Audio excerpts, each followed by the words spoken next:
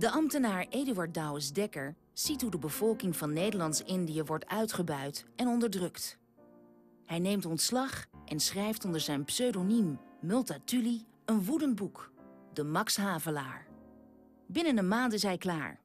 En de mensen die in Indië niet naar hem wilden luisteren, zullen nu wel moeten. Maar uw excellentie heeft gesanctioneerd het stelsel van misbruik van gezag, van roof en moord, waaronder de arme Javaan gebukt gaat. En daarover klaag ik. Dat scheidt ten hemel. Er kleeft bloed aan de overgegaarde penningen van uw dus ontvangen indistractement, excellentie. Nog eenmaal vraag ik om een ogenblik gehoor, zij het deze nacht, zij het morgen vroeg. En alweder vraag ik dit niet voor mij, maar voor de zaak die ik voorsta. De zaak van rechtvaardigheid en menselijkheid, die tevens de zaak is van welbegrepen politiek. Multatuli wilde met zijn Max Havelaar uh, niet zozeer dat er een eind kwam aan het koloniaal bewind van Nederlands-Indië, maar dat er zorgvuldig bestuur werd toegepast. Dat de bevolking werd beschermd, ook door de, tegen de uitbuiting door hun eigen uh, Indonesische hoofden. Dus hij, was, hij was geen antikoloniaal, maar hij wilde graag dat, dat de bevolking niet eh, netter werd behandeld. En hij vond dat de Nederlandse bestuursambtenaren de taak hadden om de bevolking te beschermen tegen uitbuiting. Zowel door Nederlanders als door hun eigen uh, inlandse hoofden. Mij zet ze niet voor gek.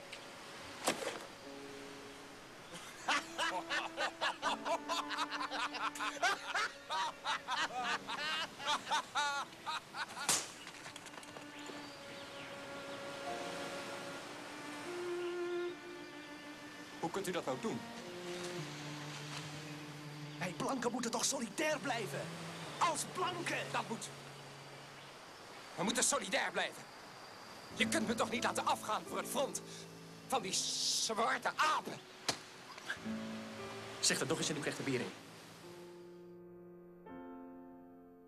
De bestuursambtenaar Douwes Dekker creëerde Max Havelaar.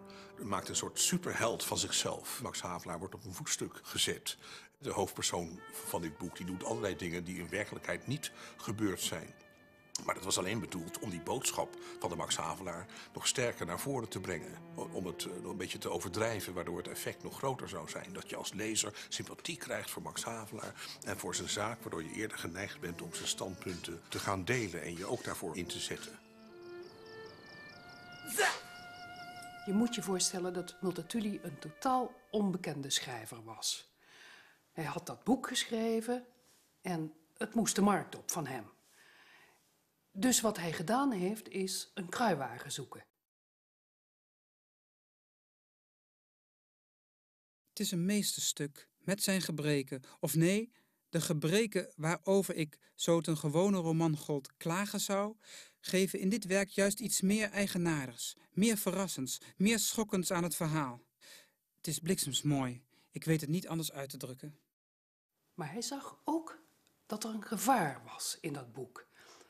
Hij schreef dat het opstand zou kunnen veroorzaken in toko's en koffiehuizen. En daarmee bedoelde hij dat het lagere volk, zeg maar, de arbeiders en de arme mensen in Indië wel eens in opstand zouden kunnen komen vanwege ja, dat, dat, dat, die, die kritiek die er in de Max Havelaar zit.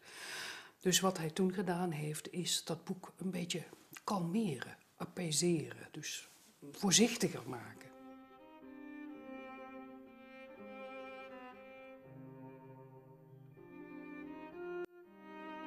Want aan u draag ik mijn boek op, Willem den derde, keizer van het prachtige rijk van Insulinde, dat zich daar slingert om den evenaar als een gordel van smaragd.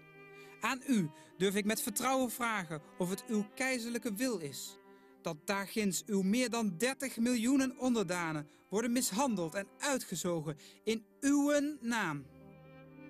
Max Havelaar verscheen in 1860 en na die verschijning eh, denk ik dat er geen bestuursambtenaar naar Indië is gegaan zonder de Max Havelaar in zijn bagage. Dat boek heeft toen echt veel indruk gemaakt. En veel bestuursambtenaren gingen bezield met idealen die ze ontleend hadden aan Multatuli naar Indië toe. Toen het besef ook nationaal doordrong dat koloniën er niet alleen zijn om uit te zuigen, maar dat je er ook iets voor terug moet geven. En dat is eigenlijk de erfenis van Multatuli, zou je kunnen zeggen.